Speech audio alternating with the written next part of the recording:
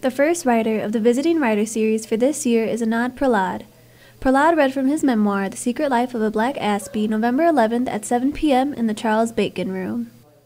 His memoir is about what it's like to have autism spectrum disorder. One of the reasons for writing his memoir was so he would never forget his life, as memory loss is one of the effects of his disorder. I've told my story as best I can by today, which means tomorrow when I wake up, I'll probably look at some part of the memoir and think, I didn't tell this part as well as I could have. I think I'll write it over. Prahlad believes he began writing when he was in second grade because he fell in love with language. I've been writing since I started writing. I mean, as, as soon as I learned to write, I started writing creatively.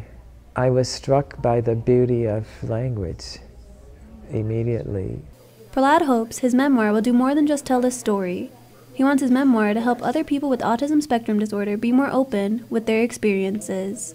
I wanted to to tell my story so that other people who have similar experiences or similar stories would feel validated.